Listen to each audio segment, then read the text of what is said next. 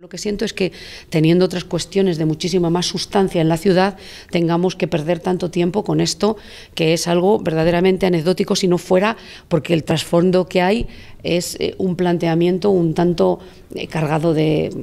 pues yo diría que con un componente fanático de alguna manera, es decir, no,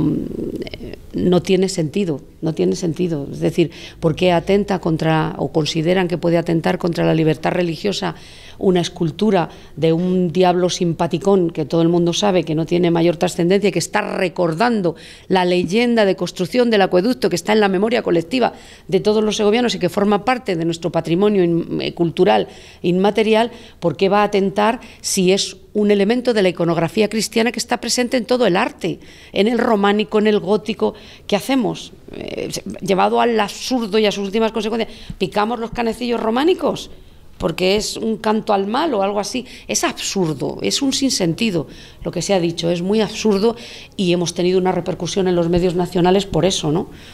Que, por un lado no me gusta que se, que Segovia dé una imagen de ese tipo, aunque sea por algunas personas, eh, pero a la vez, eh, pues la verdad es que nos han hecho una campaña de promoción del Diablillo que va a ser un éxito turístico seguro. Esto hay que decir.